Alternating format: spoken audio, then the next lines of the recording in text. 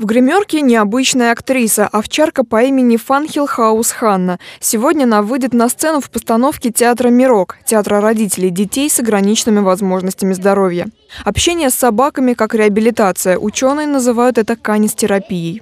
Повышается самооценка, дети начинают контролировать свое поведение, начинают следить за своим телом, да, то есть вырабатываются э, навыки уверенного поведения дети, они веселее и добрее. Фестиваль «Созвездие» собрал больше 70 юных актеров с различными формами инвалидности. Театральное искусство, считают организаторы, позволяет наиболее полно раскрыть возможности людей с, казалось бы, ограниченными возможностями. Для ребенка это определенная школа. Выйти на сцену, показать себя в новой роли, а, выполнить всю ту задачу, которую ставит режиссер получить аплодисменты, увидеть глаза мамы, которая сидит в зале и гордится, что ее ребенок может гораздо больше, чем она предполагала.